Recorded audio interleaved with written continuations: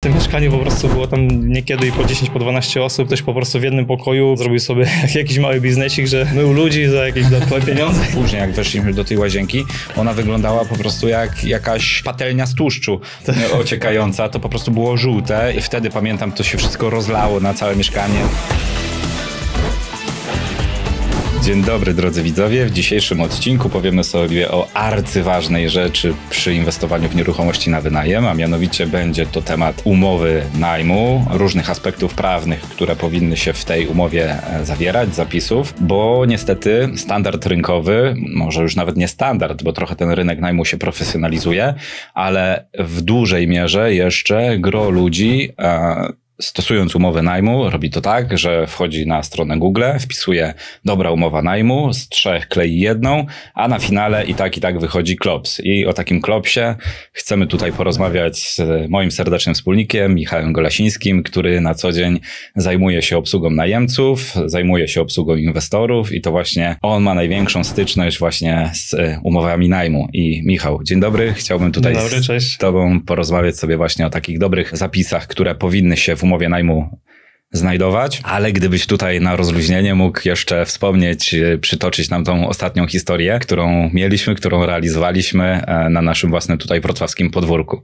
Czyli w ramach naszej działalności takiej internetowej nazwijmy, Pewnego dnia odezwał się do nas jeden z, okazuje się, przyszłych inwestorów z zapytaniem, czy nie byliśmy zainteresowani podjęciem się zarządzania najmem jego mieszkania. Po kilku wymianach mailowych okazało się, że tam jest jeszcze jakiś tam najemca i on sobie tam koczuje od dłuższego czasu, nie płaci, tak, więc no zajmuje lokal nieprawnie, tak? Czyli taka klasyczna, klasyczna sytuacja, zaopiekujecie się moim mieszkaniem, no nie ma problemu, ale jest coś, o czym musicie wiedzieć. Tak, tak, jest malutki jeden szczegół. Albo ktoś. No, albo ktoś, tak jest. No i jakby idąc nitką do, do, do kłębka doszło do tego, że tak, po pierwsze właściciel, nawiązując do naszego dzisiejszego tematu, miał naprawdę bardzo słabą umowę najmu, chyba ściągnięta z internetu, albo nawet sam na kolanie ją napisał, no bo w zasadzie mieściła się ona na jednej stronie A4 grubą czcionką, gdzie Aha. ledwo zostały spisane dane, ogólne takie warunki, umowa jeszcze na czas nieokreślony. Mhm. No więc masakra ogólnie. Ciężko w ogóle coś powiedzieć dobrego, pozytywnego o tej umowie najmu.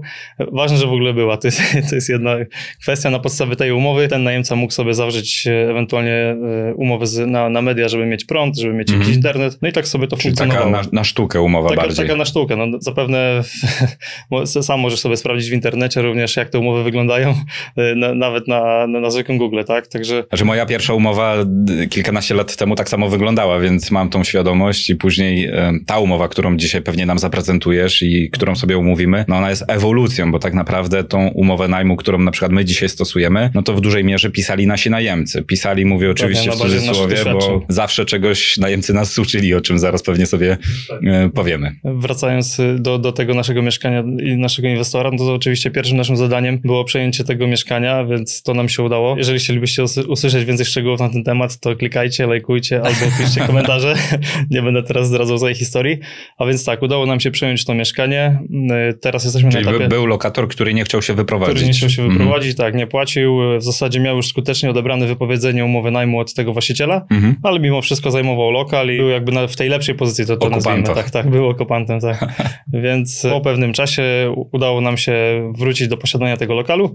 Y, teraz je remontujemy i w zasadzie za chwileczkę będziemy wynajmować na pokoje na naszych zasadach, tak? I mhm. właśnie wracając do tego, co wspomniałeś, że nasza umowa najmu ewoluowała przez jakiś dłuższy okres, no bo 7 czy 8 lat już we Wrocławiu zajmujemy się tutaj e, zarządzeniem tymi nieruchomościami e, pod, e, pod wynajem, pod, pod konkretnych najemców, którzy nas interesują. I tak jak mówisz, wszystkie takie nasze doświadczenia związane z tym, z tym najmem, z tą opieką najemców nauczyły nas, że jednak pewne zapisy muszą ewoluować, muszą się zmieniać, musimy pewne rzeczy dodawać, pewne rzeczy są niepotrzebne, pewne są tylko takimi straszekami, pewne są nieskuteczne, ale warto, żeby były. Także z perspektywy czasu tych 7 lat na pewno ta nasza umowa jest dosyć mocna, dosyć taka ważąca, bym powiedział. E, jest bardzo ciężka też dla tych najemców, ale to dla nas jest bardzo dobry sygnał, no bo... Znaczy jest bardzo ciężka dla najemców, którzy faktycznie mają, mają jakieś złe intencje, nie? Bo to trzeba sobie jasno powiedzieć, że tutaj y, jakby potwierdzamy sobie zamiary, my chcemy wynająć, najemcy chcą mieszkać, Dokładnie. my chcemy udostępnić lokal, najemcy mają płacić e, i mają dbać o ten przedmiot najmu, a później wychodzą pewnego rodzaju fakapy, ale tu właśnie a propos e, tej ewolucji umowy, to mi się kojarzy też taka historia, gdzie na przykład w naszych umowach najmu jest jeden, dawno jej nie widziałem, ale, ale domniemam, że w dalszym ciągu jest, e, był taki zapis, pamiętam, że, wprowadza, tak, że wprowadzaliśmy taki zapis, że najemca ma zakaz ulepszania przedmiotu najmu, nie? czyli te, tego konkretnego e, mieszkania, pokoju, czy gdzie tam sobie mieszka. I pamiętam, że to też mieliśmy chyba przy ulicy Gajewickiej taką dziewczynę, która wyszła jedną, oddała pokój kolorowy w różnych tam różowo-fioletowych, jakichś tam niebieskich różnych barwach, no i właśnie powiedziała, że ona ten pokój to ulepszyła tak naprawdę, no bo miała białe ściany, no i o co nam chodzi? No a my żądaliśmy tego, żeby przywróciła do standardu takiego pierwotnego, no i, tak. no i o, od tego momentu wprowadziliśmy zakaz ulepszania albo ulepszanie za naszą zgodą, nie? Więc czy przybicie jakichś właśnie obrazków, no bo niestety jest tak, że każdy najemca sobie przyjdzie i po swojemu ulepszy, upiększy ten pokój, a później na finale ten pokój czy ten przedmiot najmu już nie wygląda tak samo jak na starcie, jak my mamy na zdjęciu. Dokładnie, to to co mówisz, ale też jakby wyczuliliśmy naszych handlowców też na tego typu sytuacje, żeby informowali już najemców, słuchaj, możesz sobie tutaj przemalować ten pokój ściany za naszą zgodą, jeżeli oczywiście taka będzie. Jeżeli nie, no to pamiętaj, że przy zdaniu tego mieszkania to to musi być w tym samym standardzie, w tym samym wyposażeniu i tak dalej, tak jak ty to przejmowałeś od nas, więc nasi handlowcy są wyuczeni uczulają też e, najemców, żeby tego pilnowali skrupulatnie przy zdaniu tego mieszkania, jakby wszystkiego dopilnowujemy, ale to też właśnie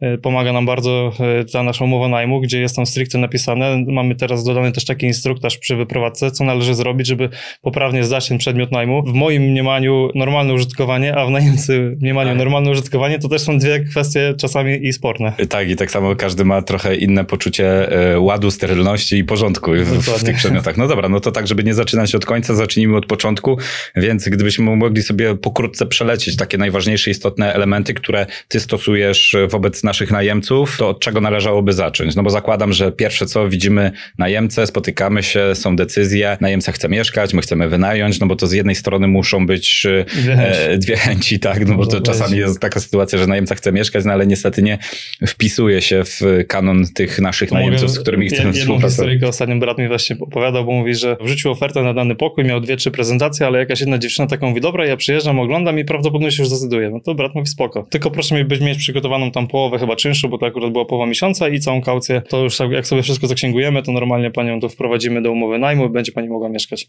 No i wszystko ok, pięknie, ładnie, do momentu, kiedy nie doszło do prezentacji, pani przyjechała e, z tabołem w ogóle wszystkich rzeczy, to chyba prawdopodobnie już skąd musiała uciec albo się wyprowadzić i mówi do mojego brata, że niestety ona ma tylko pół kaucji na razie i ona już się, ona się decyduje. Mój brat mówi, no jak, no zaraz, przecież inaczej mówiliśmy przez telefon, to już mu się lampka zapaliła, że jednak to troszeczkę go tam ściemniła przy tym całym manewrze.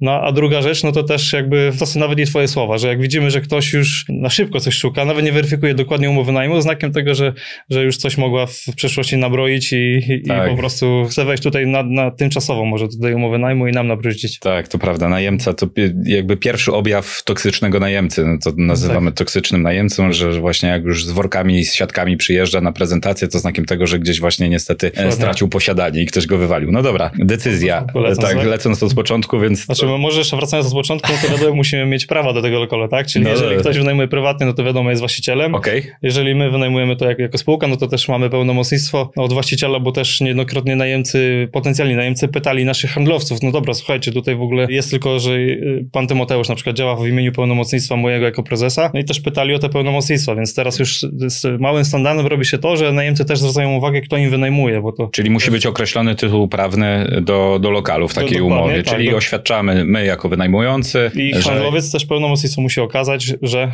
jest y, pracownikiem danej firmy, która ma prawa do tego lokalu. Albo do zarządzania tym lokalem, a właścicielem tego lokalu jest na przykład inwestor. Tak, tak. tak. Albo inne, inny tytuł prawny, czyli na przykład prawo najmu z możliwością podnajmu takiemu najemcy, no bo może ktoś po prostu podnajmować jakieś, jakieś lokale. E, to jest dosyć istotne z tego względu, że często na przykład ludzie z Ukrainy e, wracają i na przykład żądają na przykład jakiejś księgi wieczystej albo czegoś takiego, bo mają problemy na przykład w biurze meldunkowym, że nie mogą się zameldować, bo tam na przykład pani w okienku numer 4 stwierdziła, że czegoś tam brakuje. Tak więc jakby to lepiej dobrze na samym początku sobie określić, żeby też nie było jakiejś warto niejasności. Też, e, warto też, żeby najemca na, na to zwrócił uwagę, no bo można wrócić do waszego poprzedniego odcinku z Piotrem, gdzie opowiadacie o różnych takich fajnych machlojkach związanych właśnie z podszywaniem się. Tak. Ale to, to zachęcam do, do, do tego odcinka, także wróćcie sobie i przejrzyjcie. Tutaj wracając do umowy najmu, no to tak, jeżeli mamy to, to, to prawo do posiadania i możemy to wynajmować dalej, no to najważniejszymi aspektami jest właśnie co wynajmujemy, tak, czyli lokal, musimy tam określić metraż, zawsze to jest bardzo ważna informacja, jaki metraż wynajmujemy danemu najemcy, co jest przedmiotem najmu, no i mhm. na jaki okres wynajmujemy ten przedmiot najmu. No i to jakby dla nas już też bardzo istotne, dla najemcy również, no to oczywiście stawka, opłaty mhm. i to są takie podstawowe informacje, które każda umowa powinna zawierać. Tak? Kiedy płatne? Tak, nigdy nie zawieramy umowy na czas nieokreślony. Mhm. Taka umowa jest łatwa do zerwania przez najemcę, tak? No bo tam mamy chyba tylko 30, czy tam jeden, czy dwa miesiące ustawowo, chyba to jest jeden miesiąc na, na wypowiedzenie od dnia ostatniego. Tak, to w zależności od okresu. Tak, natomiast jakby u nas y, mm, ten czas określony, on wynika jeszcze jakby z innej kwestii, że my działamy w takim segmencie najmu profesjonalnego, czyli dążymy do tego, żeby nie było żadnych pustostanów albo ograniczać pustostany do minimum. Natomiast rynek najmu trzeba e, mieć na uwadze, cechuje się pewnego rodzaju sezonowością i teraz, kiedy nagrywamy ten odcinek w sierpniu, we wrześniu, mhm. w październiku, można mówić, że to są bardzo dobre momenty na to, żeby kontraktować najemców. Natomiast gdybyśmy teraz wypłynęli z mieszkaniami, a byłby na przykład czerwiec, bądź też maj, bądź też lipiec, tak. no zainteresowanie samym produktem, samym mieszkaniem na wynajem jest dosyć znikome. Więc nam też zależy na tym, żeby w sierpniu, wrześniu, październiku kontraktować najemców na pełny rok i żeby unikać tych pustostanów. A w momencie, kiedy umowa kończy się najemcy i na przykład najemca chce wyjść z tej umowy najmu, mamy sporo możliwości, żeby ten przedmiot najmu po prostu w łatwym tempie gdzieś komuś innemu wynająć. Też za chwileczkę pewnie o tym powiemy, mhm. ale tak jak mówisz, to też im, im my wynajmujemy na, na dłuższy okres jakby ten, ten przedmiot najmu, to też wygodniej jest, jest dla nas, no bo im mniejsza rotacja, to mniej jest papierologii, mniej jakichś księgowych takich właśnie dodatkowych kosztów, mniej w ogóle pracy dla całej ekipy, tak, dla całej kadry e, tutaj pracowniczej, czyli asystentki, czy też handlowca, tak. Mhm. E, no i też, e, no nie ukrywajmy, umowa na czas określony, można ją zerwać tylko i wyłącznie na zasadach opisanych w umowie najmu, y, którą mamy dość dobrze sporządzoną, tak? I jakby można przejść, myślę, etap dalej, tak? Ten mhm. okres najmu mamy mniej więcej taki określony, więc bezpiecznie jest po prostu jest to na czas określony zawsze zapisać. Kolejnym ważnym takim czynnikiem, no to wiadomo, to jest stawka i też tak jak mówisz, no, najlepszy okres do kontraktowania, no to jest jakby koniec sierpnia, początek września, to jest taki najbardziej gorący okres na rynku najmu i wtedy można te, te ceny maksymalnie sobie gdzieś tam zwindować, oczywiście opierając się na tym, jak wygląda rynek, jakiego rodzaju my mamy przedmiot najmu, porównać do innych standardów i mniej więcej starać się uśrednić tą cenę.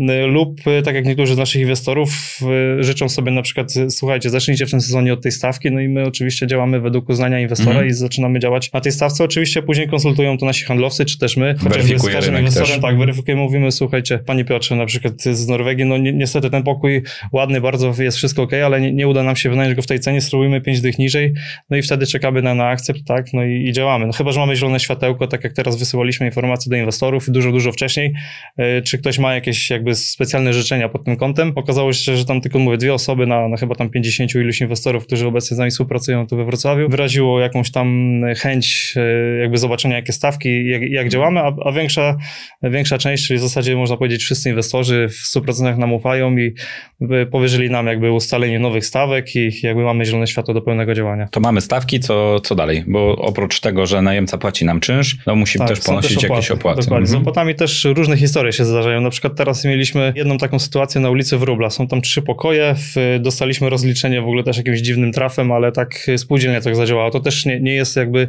e, nasza intencja, żeby co, co chwilę dociążać tych najemców, mhm. tylko jakby z, patrząc na to, co się dzieje teraz na rynku, te ceny niestety idą do góry e, i oczywiście przerzuca się to wszystko na, na właścicieli, a właściciele, że wynajmują te mieszkania, no to jakby wiadomo, cedują to na najemców. No i jakby e, wszystko się odbija na tych najemcach. Ale wracając do tematu, no to spółdzielnia wysłała nam rozliczenie z okresu tam 2, e, wrzesień 2021 do końca 2022. Rozliczenia sobie rozliczyliśmy na najemców proporcjonalnie w stosunku do tego, jak, jak, w jakim okresie oni mieszkali. No i zrobiliśmy to w sposób taki prawilny, zgodny z naszymi umowami najmu. Po pewnym czasie właśnie to najemcy w ogóle nie akceptowali, że takie, bo to wyszło dosyć dużo, 6 tysięcy złotych na trzy mhm. pokoje, więc dosyć sporo, tak? I na początku nawet sam właściciel, kurczę, dzwonił do nas i mówi, panie Michale, niech pan zweryfikuje, no bo chyba coś nie tak, tam coś przekręcili liczniki, bo jak trzy pokoje, to maks 6 osób i 6 tak. tysięcy wyrównania, gdzie w międzyczasie oni jeszcze płacili przecież stawki, jakieś zaliczki tam, tak? Mhm. No mówię, no dobrze, no zweryfikujemy, tak? Spółdzielnia sprawdza po ich stronie, jest wszystko ok. Jakby też się trochę z, z nimi boksowałem mailowo, mhm. no ale na, na, czym się skończyło? To skończyło się na tym, że się okazało dopiero teraz, gdzie jeden najemca, który już tam nie mieszka, dostał rozliczenie, przeliczenie jakby tego rozliczenia na 1000 zł i był zdziwiony, no oczywiście jego wersja, mnie tam nie było, ja tam mniej mieszkałem, bardziej mhm. spałem, pracowałem tak, 12 tak, tak, godzin, gdzie nikt z nas nie jest stanie ani tego potwierdzić, ani zweryfikować po takim czasie. I nagle się okazuje, że tam mieszkało, nie wiem, tam, bo to był jakiś okres taki, że wybuchła ta wojna i ci Ukraińcy się dosyć dużo tutaj Aha. rotowali. Więcej osób I się okazało kąpało. się, że w tym mieszkaniu po prostu było tam niekiedy i po 10, po 12 osób i dlatego było duże zużycie wody, że Aha. tam ktoś po prostu w jednym pokoju przyjmował swoich kolegów, czy tam, nie wiem, zrobił sobie jakiś mały biznesik, że tak, tak. mył ludzi za jakieś dodatkowe pieniądze, ciężko powiedzieć, ale właśnie stąd wynikało to rozliczenie wody. Tak, tak.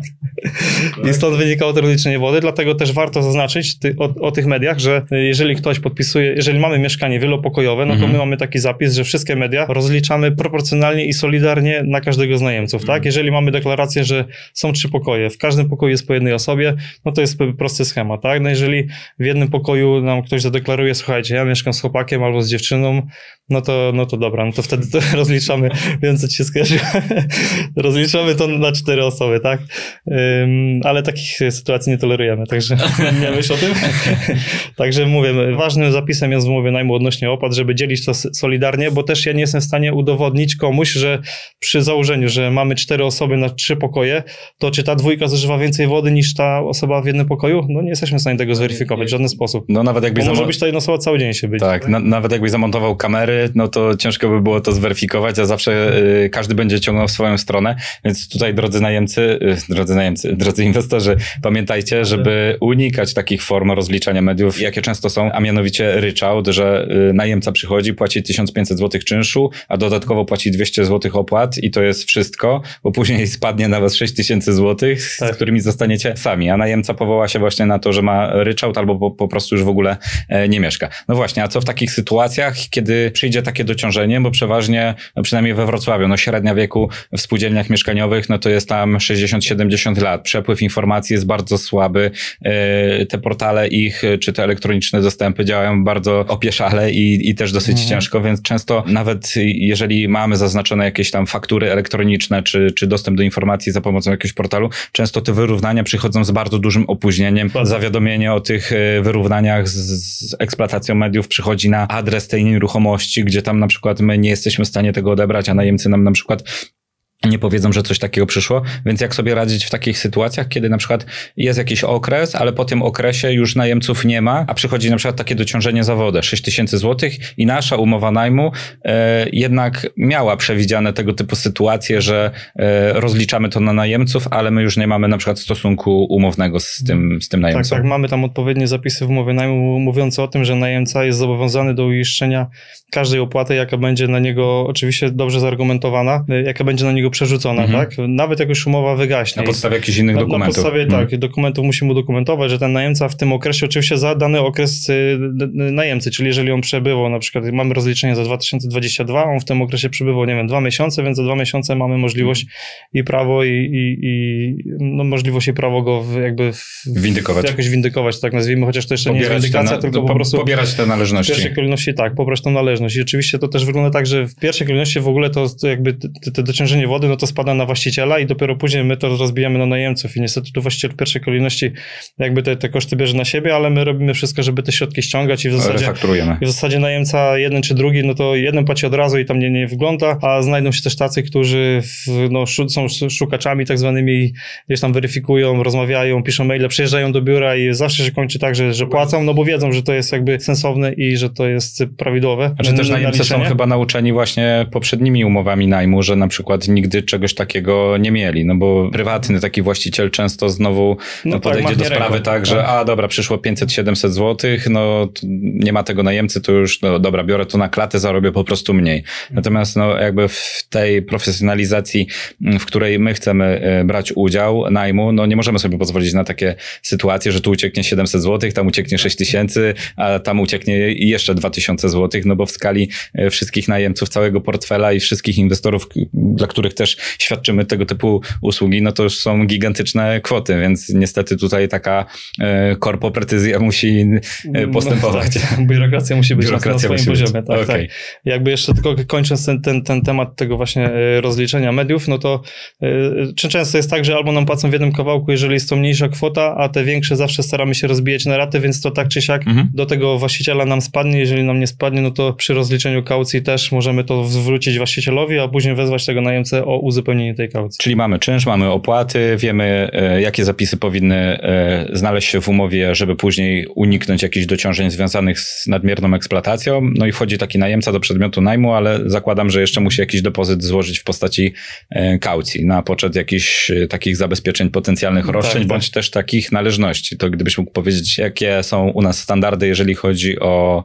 kwestie zabezpieczenia tych potencjalnych płatności, kiedy są potencjalnie te kaucje zwracane, czy w ogóle są zwracane i czy stosujemy jeszcze jakieś inne zabezpieczenia? Mamy dwa warianty zawsze na, na wejściu. Albo najemca nam płaci jedną kaucję i podpisuje deklarację weksla, wekslową, mhm. albo najemca zrzeka się tej deklaracji, bo na przykład nie chce jej podpisać, ale to w tym wypadku płaci nam podwójną kaucję i to jest takie nasze zabezpieczenie. Podwójna kaucja to mam na myśli y, to, że raczej wysokość jednej kaucji to jest wysokość czynszu plus opłaty za dany jeden pełny miesiąc, czyli dajmy na to kawalerka za 1900 zł plus opłaty za 500, no to 2400 jest w, w, w naszym portfelu księgowane tej kaucji, tak? I ta mhm. kaucja jest właśnie zabezpieczeniem na poczet w pierwszej kolejności ewentualnych zniszczeń, które najemca tam wyrządzi w trakcie umowy najmu, ewentualnie na, na poczet właśnie jakichś niedopłat związanych z płatnościami różnego rodzaju, czy to za czynsz, czy, czy to za rozliczenie mediów. Jeżeli jest zakończenie umowy najmu, nie ma żadnego problemu, e, no to w, rozliczamy w pierwszej kolejności kaucję z tym najemcą, a później weksel do 30 dni zwracamy temu najemcy, no bo też jakby z tych weksli nie żyjemy, to jest tylko nasze zabezpieczenie przed tym, żeby komuś tam się jakaś zła myśl nie urodziła w głowie. Gdyby najemca dokonał jakichś zniszczeń, bądź też e, zalegał z płatnością czynszu, a e, te wszystkie e, kwoty zaległości przekraczałyby tą kaucję, no to mamy prawo wypełnić ten weksel na tą kwotę, która jest Dokładnie. jakby związana bezpośrednio deklaracją. To nie jest tak, że na święta potrzebujemy zrobić rodzinie prezenty i tam odpalamy weksle na najemców i, i proszę nam tutaj mm, zapłacić. Co dalej, jeżeli jest chodzi... tak, jeszcze przy, do, do, do kaucji, no to też podpisując umowę najmu, dany najemca wpłaca nam już kaucję fizycznie albo jakimś przelewem, tak? Okay. Czyli gotówką do rąk własnych, jak to się mówi teraz fachowo, albo przelewem na, na wskazany rachunek bankowy, tak? Więc w momencie, kiedy u nas kaucja zostanie zaksięgowana, wtedy handlowiec ma możliwość wydania tych kluczy, oczywiście po całej tej e, procedurze zaakceptowania tego najemcy i przez wszystkich tam pozytywnych weryfikacjach, tak? No to wtedy dopiero kaucja jest na koncie, przekazujemy klucze i najemca się może już cieszyć tym najmem i, i może przy wejściu do przedmiotu najmu i, i, w nim mieszkać, tak? Co taki najemca tam powinien robić, a czego nie no, powinien? tak zwane prawa i obowiązki. Może dużo oczywiście, no bo, no bo, no bo jakby zapewniamy mu dach nad. Może zaprosić tak? dziewczynę? Może zaprosić dziewczynę, może Ale ją dłużej niż trzy noce? Nie ma problemu, na dłużej niż trzy noce może ją umyć.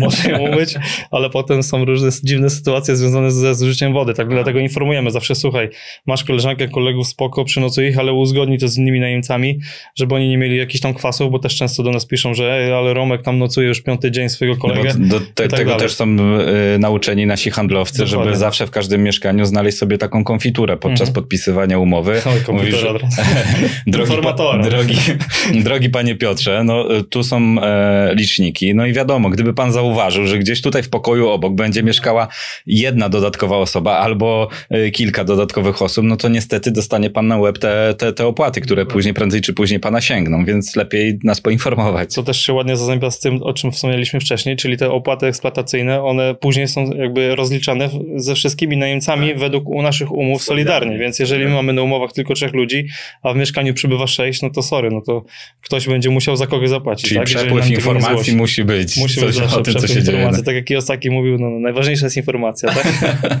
okay. tego oczekujemy. Odnośnie jeszcze dalszych praw, no to też tak jak wspomniałeś, no, nie można dokonywać żadnych przeróbek budowlanych, czyli stawiania ścianek działowych, nie wiem, wyburzania okien, stawiania nowych, e, w jakichś, nie wiem, drastycznych montaży na, na ścianach. Mhm. Zdarzają się pytania, czy mogę telewizor zamontować na ścianę, no to oczywiście wyrażamy zgodę, ale dodatkowa informacja, słuchaj, no to te, te dziurki muszą później zniknąć, jak nie znikną, no to my to zrobimy za ciebie, ale też ciebie dociążymy, tak? Czy jakiś plakat? E, plakaty, tak, różnego rodzaju, jakiś Just Five i tak dalej, mogą zawisnąć, jakby nie, nie, nie No to są nie takie drobne niuanse, ale jednak e, czasami właściciele czy inwestorzy no mówią, no dobra, to sobie zawieść ten plakat. Później ten plakat wisi w momencie, kiedy ten przedmiot najmu jest nam zdawany, no i później ściągasz taki plakat czy cokolwiek, albo jakiś tam obrazek i nagle się okazuje, że wiesz, ściana jest uwalona, albo jak odklejasz te plasterki, czy tą taśmę klejącą, no to za chwilę ci tam tynk odejdzie, albo widać takie ślady, no i na, na finale stajesz przed decyzją, albo to zasłonię czymś innym, jakimś innym badziewiem, albo, e, albo maluję ścianę na własny koszt. No i znowu malujesz ścianę, więc kilka dni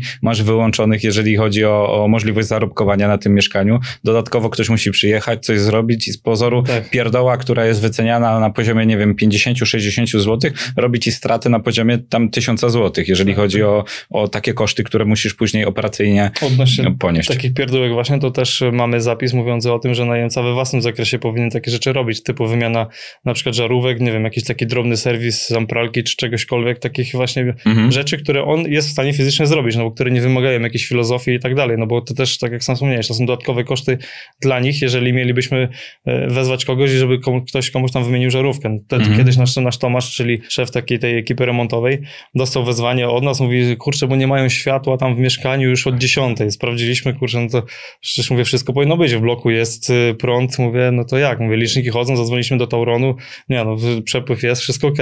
No i dobra, no Tomasz mówi, dobra, no to jadę. Pojechałem, no Tomasz mówi, pojechałem, zobaczyłem, mówi, pierwsze co mówi, to na klatce schodowej jest duża kartka A4, mówi, że nie będzie prądu w tych i w tych godzinach.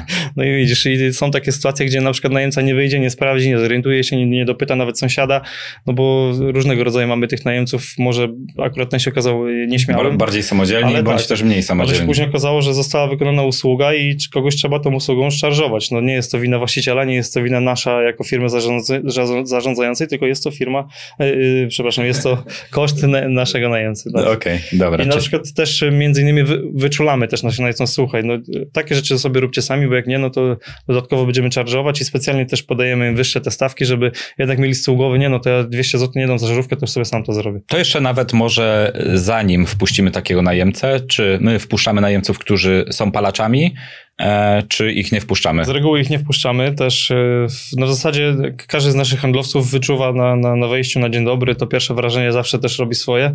No jeżeli wyczują ten tytoń, no to też od razu mówią, że nie chcą podpisać umowy najmu, bo mają jakiś inny argument i tak dalej i koniec, ucinamy tu rozmowę. Chyba, że jest Także... taka osoba, która jasno mówi, że jest palaczem, ale nigdy w przedmiocie najmu nie będzie palić. Dokładnie i... i na przykład chce wynająć mieszkanie z balkonem albo, albo na parterze z tarasem, tak? No to wtedy oczywiście tu nie robimy problemu, ale jak jest to mieszkanie wielopokojowe, gdzie może to komuś, e, dla kogoś być to problem, no to, no to jakby tutaj unikamy tych, tego typu sytuacji. Mamy zapis właśnie mówiący o tym, że jest zakaz palenia papierosów i innych substancji. substancji.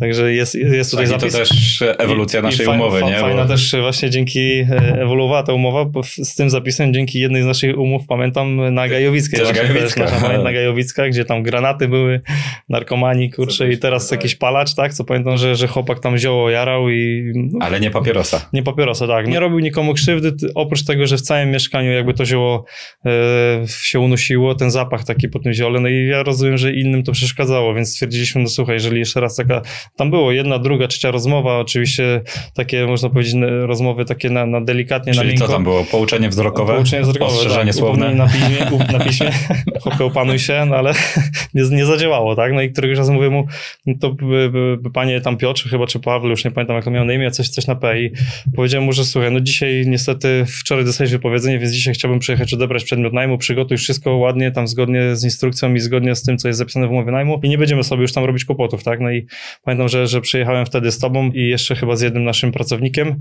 e, no i coś okazało, że, że, że, że tam jakaś później, on miał pretensje chyba do nas, tak, że my go wywalamy, bo on nie ma gdzie iść, a tak naprawdę on już miał ogarnięte inne mieszkanie, czy inny przedmiot najmu. I wiem, że była jakaś rozmowa też z matką, że, że, że jego pobili, on później miał wersję taką, że przyszło dwóch bokserów, go zastraszyło i on musiał oddać tak, klucze. dostałem tak? nobilitację, zostałem uznany zawodnikiem MMA, także dziękujemy.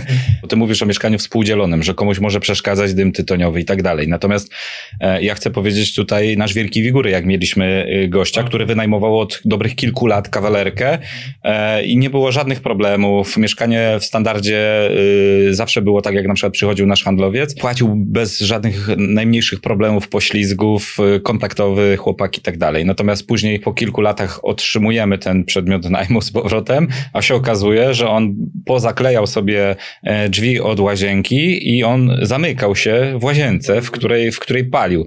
I no wiadomo, jak na przykład nasz handlowiec przychodził podpisywać umowę, no to nie było ani czuć, ani nie było widać w, w mieszkaniu. Natomiast później, jak weszliśmy do tej łazienki, ona wyglądała po prostu jak jakaś patelnia z tłuszczu ociekająca. To po prostu było żółte. I wtedy pamiętam, to się wszystko rozlało na całe mieszkanie. Później jakiś ten ozon trzeba było było robić, malować to kilka razy. Te, w tych fugach ten, ten smród y, był, to, to pamiętam, że tam była też impreza na dobre kilka tysięcy złotych, tak więc to jakby sam ten y, dym tytoniowy, czy tam po, po jakiejś innej substancji smolistej, no powoduje to, że później ten przedmiot najmu znacznie y, obniża swój standard i, i trzeba to po później y, reaktywować. No tak, wiesz, jeszcze tak mi się skojarzyło, jak mówisz o tym żółtym y, kolorze na tych wszystkich tam elementach tej łazience, skojarzyło mi się jeszcze taka historyjka właśnie e, dotycząca na przykład kupna jednego z moich pierwszych mieszkań inwestycyjnych na hiszpańskiej to pamiętam, że wchodziło się tam do, do mieszkania i w kuchni, tam pan taki starszy mieszkał, mieszkanie 70-metrowo, niż został sam, za duże było dla niego mieszkanie, więc jakby to był jego motyw sprzeda, sprzedania tego, tej nieruchomości. I przebywał, on sobie jakby mieszkał tylko w, w jednym pokoju, chodził sobie do toalety i cały dzień przysiadywał w tej kuchni, gdzie tam miał e, takie fajne miejscówkę, było okienko na monitoring na całe osiedle, no i tam sobie oczywiście palacza. kopcił sobie, tak, tak. I pamiętam, że jak przyszedłem do tego mieszkania, to kurczę, jak były białe takie te zasłonki, to, to one się zrobiły żółte, właśnie okno PCV, gdzie normalnie okno PCV w normalnym domu masz białe, tak? To tam było normalnie żółte, aż takie, że kurczę, no, aż na wymiotę brało od razu. Na dzień dobry wszystko prześmierdło e, tym tytoniem, także masakra. Fajnie wtedy kupiło się to mieszkanie. No to poczekaj, polecę, polecę cringe jeszcze bardziej. Czy to firanki były tak żółte, jak paznokieć tej najmczyni z hiszpańskiej? Bardzo zbliżony kolor. I mało tego, ona na tej samej później ulicy przyciągła ją. Ja, ja, ja wiem, to może, może uda się wkleić ten paznokieć. Przyciągło ją, ale przyciągłem chyba do tego mieszkania. Y, y, już kończąc jakby z tym tytoniem, no to dobra, jest zakaz tutaj palenia, wiadomo, czasami są sytuacje, że najemcy nam zgłaszają, słuchajcie, ale ktoś tam pali, no to upominamy, upominamy, że jest taki e, zapis umowy, nie możesz palić, bo to grozi wypowiedzeniem umowy, no i wtedy tam się troszeczkę ucisza. Mhm. Jak się nie ucisza, no to po prostu rezygnujemy z tego najemcy. Y, ważnymi aspektami jest właśnie też te pierwsze takie zapisy, o których my nie mówimy, takie główne, czyli każdy najemca wchodząc do przedmiotu najmu jest zobowiązany do zachowywania czystości, zarówno jak i w swoim pokoju, jeżeli wynajmuje pokój w mieszkaniu wielopokojowym, jak i w kawalerce czy, czy w mieszkaniu. No to ma dbać o ten przedmiot najmu y, z, zgodnie oczywiście ze swoimi tam wartościami, ale jakby jest zapisane, że ma sprzątać, ma, ma myć okna, ma podłogi myć, kurze ścierać i tak dalej, i tak dalej. I ma żyć, jeżeli żyje w, z, z innymi najemcami, to ma żyć z nimi w zgodzie i harmonii i na ogół też w to nie ale sugerujemy już przy podpisaniu umowy najmu, słuchaj, weź się tam dogadaj z innymi, zróbcie sobie harmonogram, trzymajcie się harmonogramu, żeby nie było tam kłótni, bo też wielokrotnie było taki gościu właśnie też z Kozanowskim mówi, pani Michale, to są jakieś jaja, mówi, I chyba z 50 maili, kurczę, w ciągu tygodnia, nie, no i zdjęcie patelni mi wysłał, nie umyta patelnia, ja mówię, no ale kurczę, co ja panu mogę zrobić, przecież nie wiem Muszą kto. się bo, dogadywać pierwsze, harmonogram. nie wiem kto, tak. no bo nikogo nie złapałem za rękę, a po drugie on mi twierdzi, że to ten najemca, dzwoni do tego najemcy, nie, nie, jemu odbiło, to on nie sprząta, no i takie w ogóle tematy, gdzie ja nie, nawet nie chcę wchodzić w spory tego typu i jakby sugeruję tym najemcom, słuchajcie, jeżeli nie możecie się dogadać, ja tam wezmę sprzątaczkę, ona będzie przychodziła raz na tydzień za cztery stówki i was pogodzi. Nie, dobra, to my się dogadamy. I tak, i się dogadują później. Ale to też mieliśmy kiedyś taką sprzątaczkę, która jeździła e, po wszystkich mieszkaniach, ale to bardziej chcieliśmy e, dzięki niej zyskać to, żeby wiedzieć, co się w tych mieszkaniach dzieje, czy jest prze, przedmiot najmu utrzymywany w standardzie takim należytym i tak dalej. No a przy okazji tam daliśmy dziewczynie jakieś tutaj robotę możliwość i zarobku. Tak, możliwość zarobku i, i, i, i sprzątała. No to też przychodziły takie maile, e, kiedy będzie sprzątaczka, bo nie wiemy, czy mamy sprzątać. No kurwa, macie cały czas sprzątać, nie? A to jest jakiś dodatkowa wartość od firmy, która jest jak kometa. Raz będzie, raz jej nie będzie, no bo to tam nie było żadnego harmonogramu. były te czasy takie przed to nazwijmy, wytniemy to słowo, bo zaraz nas zbanują, ale wtedy jeszcze jakby ludzie wie więcej może zarabiali, inaczej odczuwali i nie było im szkoda na sprzątaczkę. Teraz jakby nie było wzrost tych wszystkich mediów i tak dalej powoduje, że jednak każdy najemca pytał o wszystko, o każdy szczegół i pilnują teraz tych zupełnie. Oni mniej zarabiali, a na więcej było ich stać. Dokładnie. Okej, okay, dobra, tak czyli czy jeszcze najemca ma jakieś prawa bądź też obowiązki. On ma prawo mieszkać, ma prawo zapraszać ludzi. Też, no, no, tutaj akurat zdarzało nam się robić ustępstwa odnośnie zwierząt. Mamy jakby taki sztywny zapis w umowie najmu, że jest zakaz przetrzymywania zwierząt, czy trzymania tych zwierząt. Przetrzymywania to może źle zabrzmiało, ale zakaz trzymania zwierząt w mieszkaniu. Wiadomo, jeżeli są to jakieś takie jak frejowe, nie wiem, e, tarantule, węże, no to jeszcze okej. Okay. Mały piesek, raczej kotek, taki co drapią Aha. i gryzą, no to, to raczej tego unikamy. E, jeżeli się jednak zdarzy sytuacja, że nas najemcy tam czasami pookłamują, że jednak przebywa takie zwierzę, bo też mamy taką sytuację sporną teraz z najemcą, że mieszkał z kotkiem, wyprowadził się ten najemca, kotek zadrapał troszkę sofy i według tego właśnie najemcy, o czym wspominaliśmy wcześniej, to jest normalne użytkowanie. Mm. Ono według nas to nie jest normalne użytkowanie, bo po pierwsze primo, tam tego kota czy zwierzęcia nie powinno być, tak? No i to już jest temat sporny. Tak, to te futrzaki to jeszcze... Na to trzeba uważać. Warto po prostu to eliminować, tak jak... No, dobra, nie kończę. Właśnie miałem mówić, że te futrzaki, no to jeszcze ten jakby pół biedy, nie? Natomiast czasami się okaże tak, że najemca e, nie powiedział, a tu nagle um, wynajmowała dziewczyna, ale do dziewczyny wprowadził się chłopak, a chłopak ma owczarka niemieckiego. No i no jednak um, zapach psa po deszczu no robi swoje. Y, leżący pies na kanapie też robi swoje. Raz, że sierść, dwa, no, jakieś zapachy.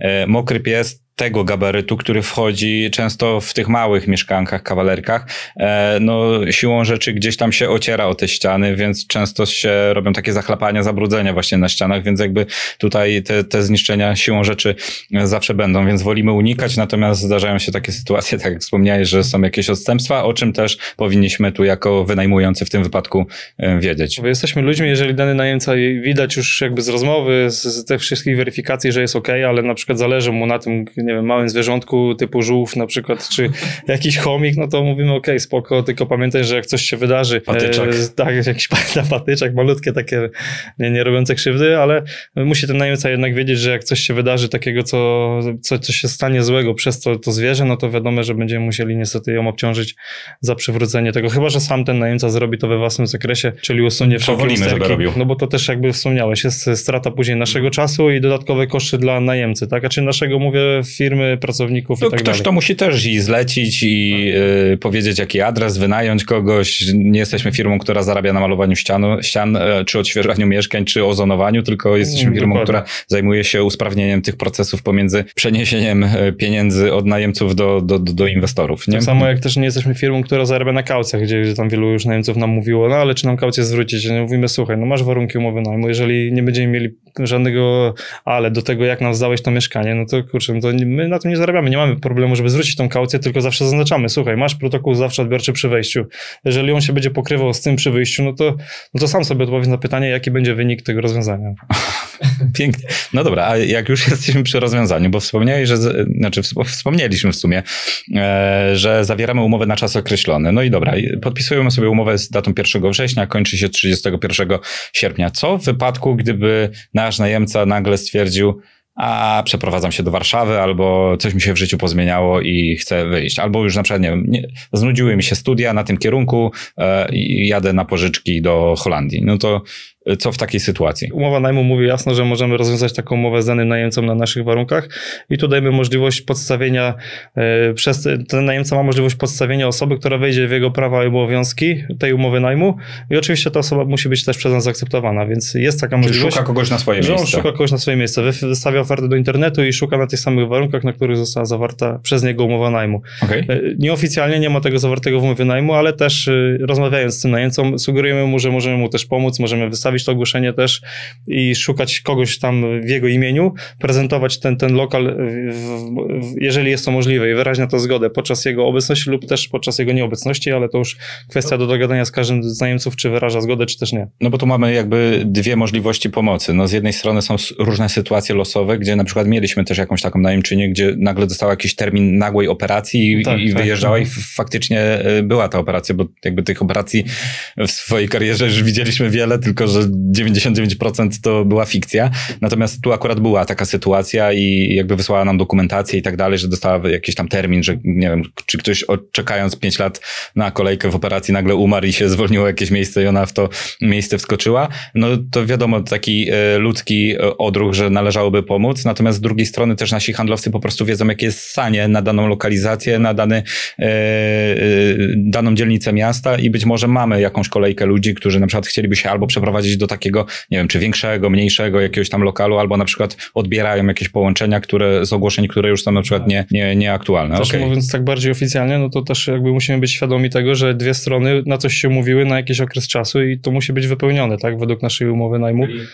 Umówiliśmy się tak, na 12 miesięcy pełnej płatności, no i dany najemca też musi być świadomy tego, słuchaj, podpisałem umowę na czas wiążący i teraz jeżeli on sobie podpisał umowę na inny lokal w tym samym okresie, no to jakby nie może zrzucać całej winy na nas, że nasza wina, że nie, my nie możemy mu rozwiązać umowy. No tak, no bo to jest trochę tak, jakbyś poszedł do operatora telefonii komórkowej, wziął abonament Dokładnie. na 12 miesięcy, no ale nagle po trzech miesiącach stwierdził, a ja nigdzie nie dzwonię, to, to dlaczego mam płacić, nie? No, no to jak chcesz, no to weź sobie telefon na kartę, nie? No i tu w tym wypadku moglibyśmy powiedzieć, weź sobie e, hotel albo hostel e, i mieszkaj tyle, ile potrzebujesz, nie? Natomiast no, tu jest kontrakt, czyli w momencie, kiedy my dajemy szansę komuś mieszkać w tym mieszkaniu, dopasowujemy, e, też staramy się dostarczać jakiś odpowiedni standard tych, tych, tych lokali, też ryzykujemy, bo tak naprawdę, no czym jest kaucja 1500 zł w stosunku do mieszkania, które jest warte 700-800 tysięcy złotych, nie? No, no to jest znikome zabezpieczenie, więc jakby tu w dużej mierze też tak to wygląda, że to, na co się umówiliśmy, no to niestety, niestety musi zostać dowiezione do końca, no chyba, że w międzyczasie zaczynamy rozmawiać i, e, i ustaliliśmy sobie I to inaczej. jest obowiązek najemcy. Też zaznaczmy, że to najemca ma we własnym obowiązku znalezienie kogoś na swoje miejsce, a nie jest to nasz obowiązek. No, u nas to jest tylko dobra wola i chęć jakby pomocy temu danemu najemcy. Zbliżamy się jakby do końca tej umowy najmu, e, czyli najemca sobie mieszka tam przez cały rok i co się później dzieje? Czy on ma prawo przedłużyć tą umowę, czy raczej E, nie, jeżeli nie, no to w jaki sposób wygląda e, przejęcie tego przedmiotu najmu, ta weryfikacja potencjalnych usterek? No bo zakładam, że jeżeli odbieramy później od najemcy jakiś przedmiot najmu, no to musimy do czegoś porównać, nie? Więc zakładam, że chyba na wstępie jeszcze jest jakiś tam protokół zawsze odbiorczy, jakaś sesja zdjęciowa. W pierwszej kolejności, no to najemca czy wyraża zgodę na przedłużenie, czy też nie, no to informuje nas określony okres, który mamy zawarty w umowie najmu dużo wcześniej niż umowa się kończy. Też mhm. dla nas jest to taka furtka, żebyśmy też wiedzieli, nie, dzień przed, słuchajcie, jutro oddaję klucze, było wyprowadzam się, tylko nam stosunkowo wcześniej daje informację, że na przykład chce przedłużyć albo że nie chce przedłużyć. Jeżeli chce, czas? To jest 60 dni przed okay. zakończeniem umowy najmu. Czyli w czerwcu e, najemca tak, powinien podjąć decyzję, czy czerwca, chciałby przedłużyć. Tak, e, ostateczny taki termin. Informuje nas, słuchajcie, zostaje, no to dobra, okej, okay, my go informujemy, tylko że bliżej końca sierpnia będziemy mieli nowe szablony umów, więc pewnie tylko umówimy się na podpisanie umowy, mieszkaj dalej. Po ewolucji okay. kolejnej. Po kolejnej ewolucji, mm -hmm.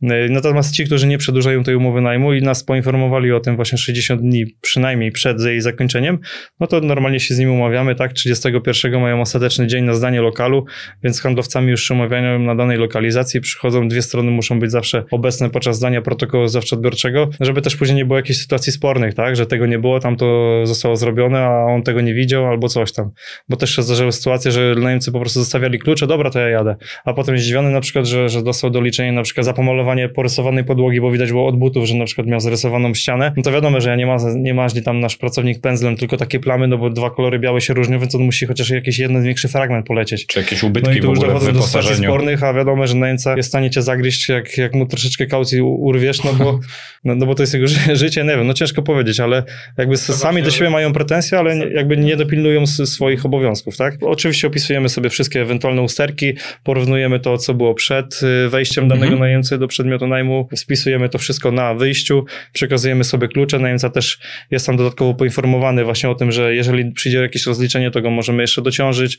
Jeżeli się pojawią jakieś usterki, które na pierwszy rzut oka nie są widoczne, nie wiem, typu na przykład sprężyna została gdzieś tam, w, czy nie wiem, belka w łóżku pękła, a jej nie widać na pierwszy rzut oka, bo nikt się tam nie kładzie, ale w nocy na przykład nowy najemca to wyczuje. No to tak, takie, to, to, takie to taka też mamy, uwaga, tak? zawsze pamiętajcie, drodzy właściciele, że jak macie narzuconą jakąś narzutę na wersalkę albo na sofę, to musicie mieć pewność, że pod spodem jest albo przypalenie jakieś od fajek, albo jakieś zabrudzenie, jakaś plama, która e, nie chce zejść. Stolik stoi w innym miejscu niż stał zawsze.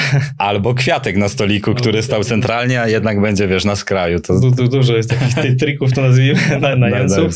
Nam już są znane takie triki, także jesteśmy tu wyczuleni na to. to no, ale... Stąd widzę. stąd też widzę. Także wyczulamy, tam e, oczywiście mają instrukcje też do tego, jak się zdaje to mieszkanie, czyli mówię, musi być mieszkanie wysprzątane, e, starte z kurzu, wymyta podłoga, toaleta jakby w zadbanym stylu, mhm. wypróżnione wszystkie szafki, czyli nie ma pozostawienia jakichś, e, nie wiem, niedojedzonych resztek jedzenia, e, czy, czy nie wiem, coś w zamrażarce, jakieś mięso z poprzedniego roku i tak dalej. Także okna wymyte, wszystko jest ładnie napisane, no jeżeli tego nie ma zrobionego, no to my też musimy to wykonać za tego mm. najemcę, więc jakby stąd też dochodzą później sytuacje takie, gdzie najemca na przykład mówi, no przecież było czysto. No to właśnie do tego dochodzimy przy tym protokole zawsze odbiorczym. Jeżeli ktoś faktycznie nie ma nic na sumieniu i, i wie, że zdał sumienie ten przedmiot najmu, no to wszystko jest opisane w protokole mm. zawsze odbiorczym i jest ok, ale mówię, no niekiedy dochodzi do sytuacji takich spornych. Różne pojęcie czystości e, Dokładnie, jest. tak, to wracamy znowu do tego, że dla niego e, normalne użytkowanie to jest jedno, a dla mnie to jest drugie, tak? Okej, okay, dobra. I teraz y, podpisujecie sobie protokół zawczo-odbiorczy i w mhm. tym momencie możemy przekazać jakby kolejnemu najemcy. Tak, tak. Często też nasi handlowcy umawiają się tak, że jak mają już kogoś na zakładkę, że po prostu w tym samym dniu się umawiają trzy strony, oglądają sobie wszyscy to mieszkanie, nawet jest lepiej, bo ten nowy najemca też może się porozglądać, zobaczyć, nawet niekiedy też coś, uwagi. coś tam informuje, że tu pan nie zauważył, ale jeszcze jest to. Także to też jest e, dodatkowe oko i, i też no, handlowcy na czasie zaoszczędzają, jak umawiają spotkanie w jednym terminie, tak? Mhm. Bo, bo nie ukrywajmy, ten 31 jest dosyć napięty. E, no i wchodzi nowy najemca, zawieramy nową umowę i jest ok. Okej, okay. no to co, bardzo Ci dziękuję. E, czy jakaś ostatnia myśl dla naszych inwestorów, potencjalnych właścicieli mieszkań? E, no bardzo ważne, żebyście się skupili na treści umowy najmu, żeby ona była konkretnie sporządzona, najlepiej przez jakąś kancelarię prawną, która wam przygotuje tą umowę najmu e, według waszej wizji, tak, według waszych ryzyk, ewentualnie według waszych doświadczeń przeszłych, tak to nazwijmy.